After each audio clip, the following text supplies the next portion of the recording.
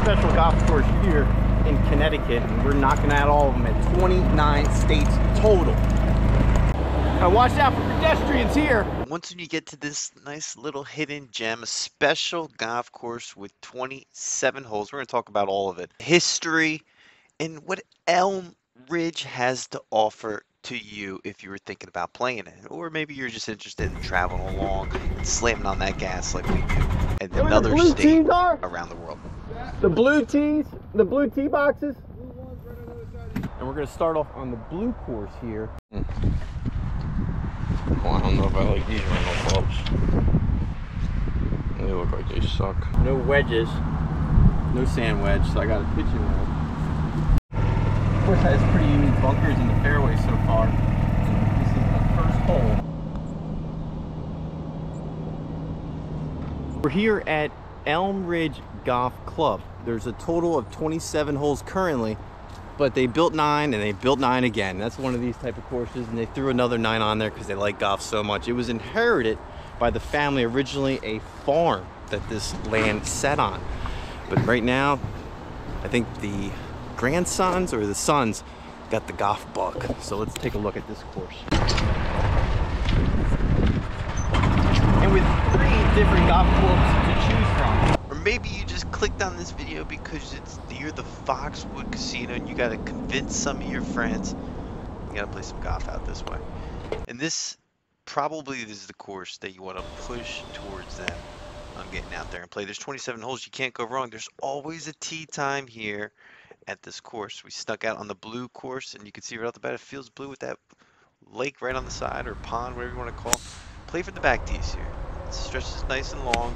We're gonna cut and slice those yardage based on you know, what front, back nine you played. I, don't even know it's even that important of the footage, but you can see right off the bat these putt interesting.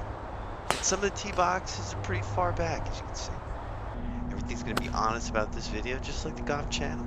We're sneaking through each one of these states and playing as much golf as we want and as much golf as we can with the resources that are in front of us.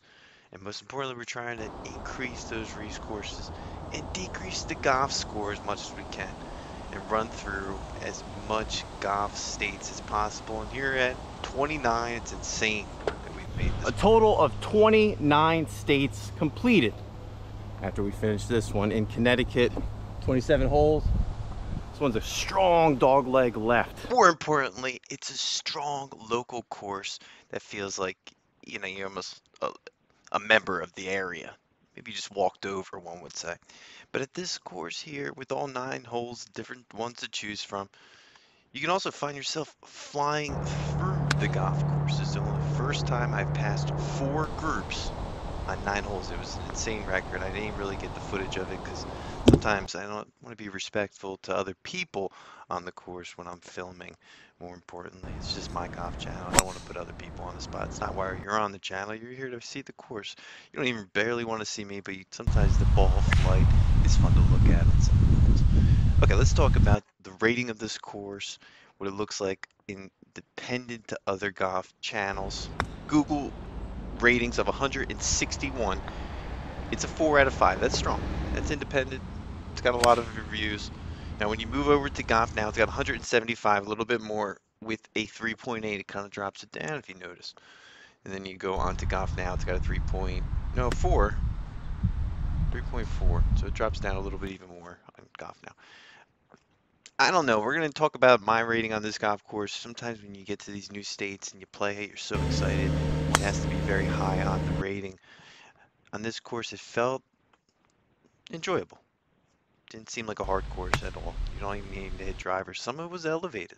And with a slope of 115, it didn't really feel like that. It, and I might be off there. Some of the holes were kind of flat, as you can see right here. I didn't think it was that challenging with the rating of 70.9 on the scorecard and going back to 6,350 yards from those back tees, which we primarily did play on this course. The footage that you're seeing is white and the blue course. Now we moved into the blue course, so a little bit different. I enjoyed the blue much more. And then there also is the red course, which we will talk about in just a second. All of it has bent grass greens and putting surfaces. The putting surfaces were fun. There's nothing wrong with them. It's open year round. And the Golf Architect's an interesting one. Built in 1966 by Carlos, Car, not Carlos, Charles Rustica. A big difference there. And they just keep patching on more here. He's also built the River Ridge Golf Course in, in Connecticut as well. So he's built two courses. Unfortunately, passed away in 2013. Doing a little bit of research, it's built with his brother Joseph, and uh, he was also a former member of the Golf Course Superintendent Association. He retired in 2006. He enjoys playing golf. He's an avid soldier and a former member of a sailing club. And he, you know, there's nothing wrong to say about this course. I believe when I was walking throughout this town, there was a sailing area that, uh, that I walked right by. Didn't get footage of it. More importantly, got footage of the course that I was excited here to play. If you made it this far, I can't believe it. Sometimes we don't even know what the hell we're talking about here. This is going to do it for this video. Keep a lookout for more. We're just trying to chip around, get more content throughout. Right now, pal, I think you should be called the Parfessor because all this young man does is rack up par. Parfessor. I love that actually. You are? Oh, he's the Parfessor. He's the, he's the Parfessor. Let's go. And if you're looking for collaborations, try and reach out